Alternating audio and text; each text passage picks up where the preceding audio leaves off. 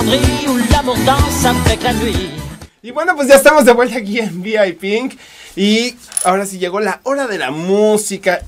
Vamos a presentar a un joven exponente. Eres Alex Brie, que nos va a presentar su nuevo proyecto musical. Hola Alex, ¿cómo estás? Hola, muy bien. ¿Y ustedes? Pues contentos aquí con mucho frío esta Sí, me noche. imagino. Y dándote la bienvenida a ti. Y en este momento también a nuestro queridísimo Carlitos Aguillón que se acaba de reincorporar Oye, al programa. ¿Cómo estás? Oye, tú te. Dice, ¿qué tal el frío que está haciendo No, esta bueno, noche? es que, ¿qué crees? Que Santa Claus se quedó atorado y fui a auxiliarlo. Ay, que me dijeron que estaban persiguiendo un lechón.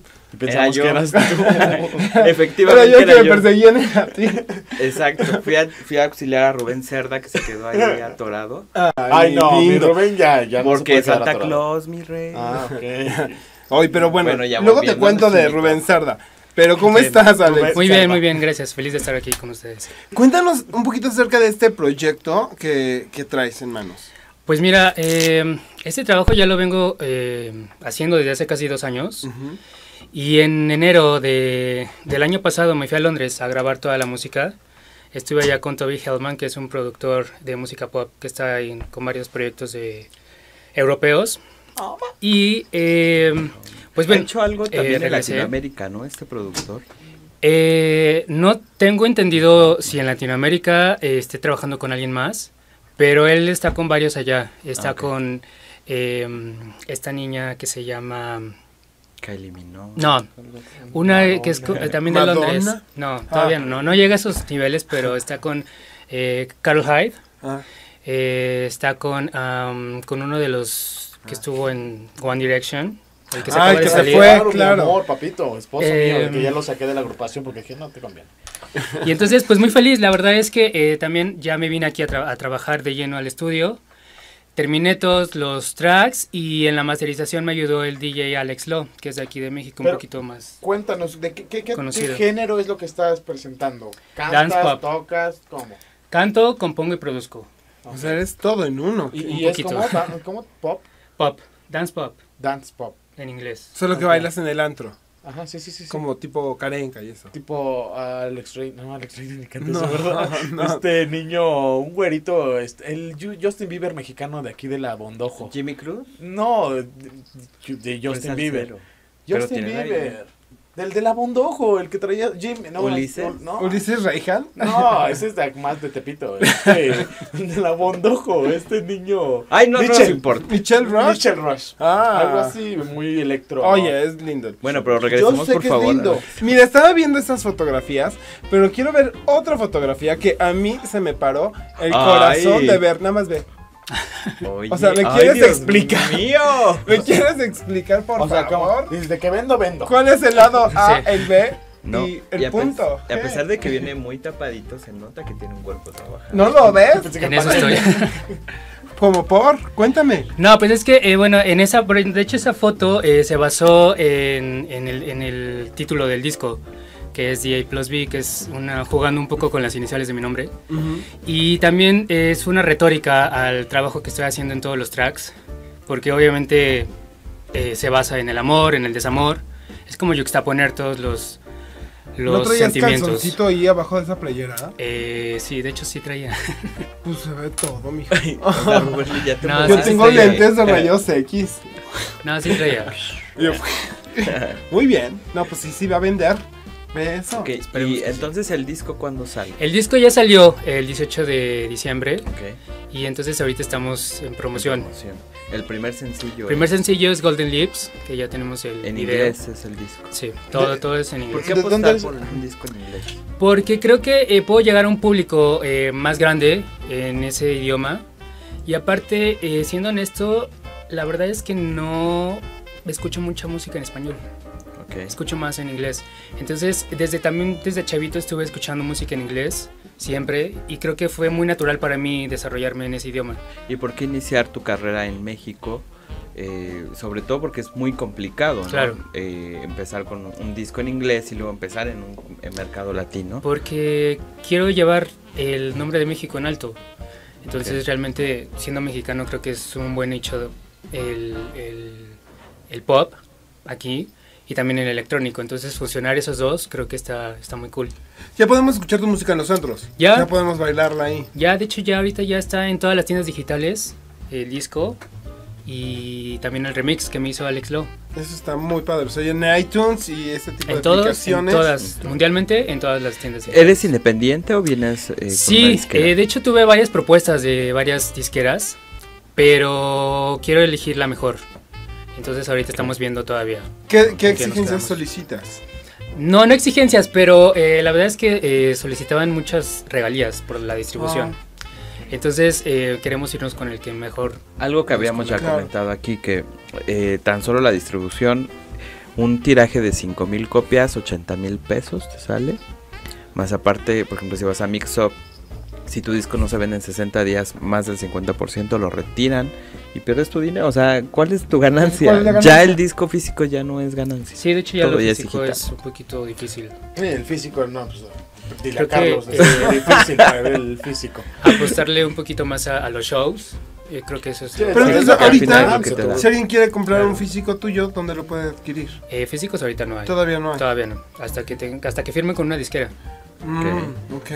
¿Tienes presentaciones próximamente? Eh, todavía no, porque de hecho ya estoy empezando a, a planear lo del segundo sencillo, el video. O sea, nosotros tenemos que ir como seis meses antes de, de todo.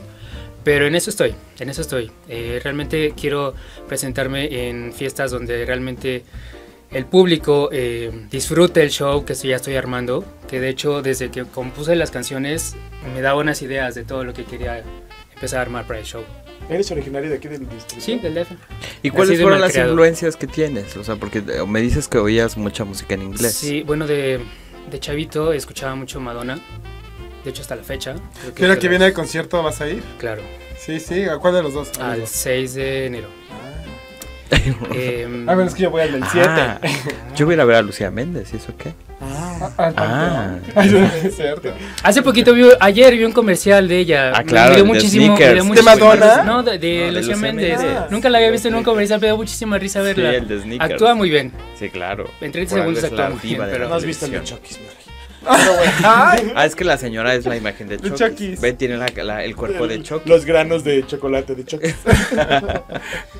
Eh, bueno, volviendo a tu pregunta, eh, pues yo creo- escuchaba mu- mucha música dance. Eh, no sé, no, se me vienen a la cabeza, pero todos los noventas. Crecí en la era de los noventas, entonces eso también, el dance es ¿Quién está en los esencial en mí. El dance. Eh, ¿El Dandy? No. no, estaba esta Creo chica... eh. Kylie Minogue. no, Kylie Minogue todavía no era tan famosa en los 90. Fue más en el. Eh, Las Spice Girls. las Spice Girls, crecí con ellas. eh. Backstreet Boys, Hanson. Hanson, eh, La Britney. Britney, claro. Que yo sí fui un poquito más Britney que Cristina. La verdad. ¿No no era más zorra, Cristina? Eh, bueno, pero, o sea, me refería a la música. ¿Y, Me y tu un personaje cómo es? O sea, tu Personaje- personalidad En- en el el escenario. Ah, pues yo creo que van a tener que verlo en vivo. Porque. o Digo, sea, si ya vi que muy- enseñaste el cheto, papá. Sí, ¿Qué me. ¿Qué- esperar? No, eh, realmente eh, creo que eh, sí, hay varias temáticas en cada canción. Y creo que es como desarrollarlo para que la gente entienda de lo que se está hablando en la canción. Ahora bien, er- en, digamos que en Europa es más o muy común ya llegarle a todo tipo de género a su público. En México está el público gay. Claro. ¿Apuestas por el público gay? Claro, claro, por, por ellos, este, de hecho en el video de Golden Lips eh, tenemos una pareja gay, eh, un travesti, y porque realmente quise darles voz a esos sectores que no están tan am, Están segmentados. respectados Ajá. aquí en México.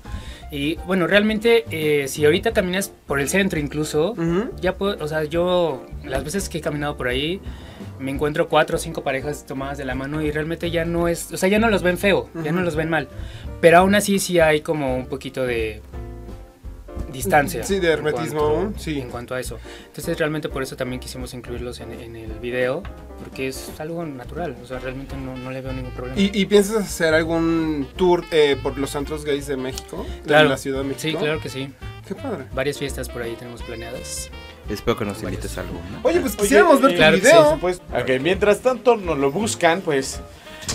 Ruberly y No, no la producción de VIP Pink te tenemos un regalo. Ah, ok, qué bien. Esperemos Gracias. que te guste. Para esta Navidad. Mientras que- no sea un cheto.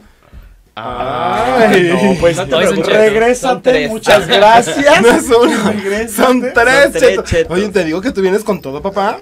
No, así soy realmente, o sea, realmente es mi personalidad. No, no quise. eh, también por eso creo que eh, siendo independiente explotas mucho eh, que alguna disquera te puede prohibir o poner límites. Eso está padre, nunca te prohíbas. Sí, Mira, de hecho. esperemos que te guste. Es una tacita, Ay, muchas gracias. Tu tacita de VIP Sí. de reconocimiento. Aquí se ve. Sí, claro. Sí. Acércate, acércate. Ah, ¿Dónde vas a pasar Navidad? Eh, con mi familia. El año pasado, de hecho, estuve en, en, en Vail, en Colorado. Pero realmente este año sí la quiero pasar aquí en México. Ay, qué rico. Yo me voy a la Riviera. O sea, Yo me voy a. Xochimilco. ¿Te vas a la Riviera Maya? A la Riviera Maya. Sí, Maya. Sí, Maya. Oye, ¿qué, qué te cuento? Además, voy a aprovechar mi gol. Digo, de una vez que están buscando ¿Lo un vas a pagar? Amigos, este es el último, el último fin de semana que me queda en la pastorela de El Bueno, Obi, El Malo y El Jesus. Jesús. Ya saben que se, va, se está es- presentando en el Teatro Foro Tauro, en la calle de Higuera, en Coyoacán, ahí atrás de la iglesia, enfrente del Pozole, ya sabes, por ahí. Vayan, se van a divertir. Función 3 y media de la tarde, este sábado. 3 y media, Foro Tauro. Bueno, ya está. ¿Ya tenemos el video? Ah, que Todavía no. todavía no. Pero Pues bueno. más adelantito lo vamos. lo- Pues lo más adelante lo, lo- en- en voy a poner. cortes. Así es. Por supuesto que sí. ¿Mande? Ah, Listo. perfecto, ya está. Alex, me encantaría que nos presentaras tu video a todos nuestros seguidores de VIP para, pues, para disfrutarte de ti. Claro. Pues eh, con ustedes el video de Golden Lips, espero lo disfruten. Descarguen el disco DA Plus B en todas las tiendas digitales, también en streaming.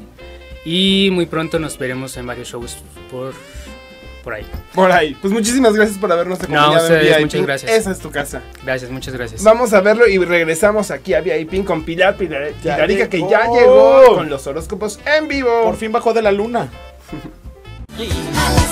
Alexandrie où l'amour danse avec la nuit.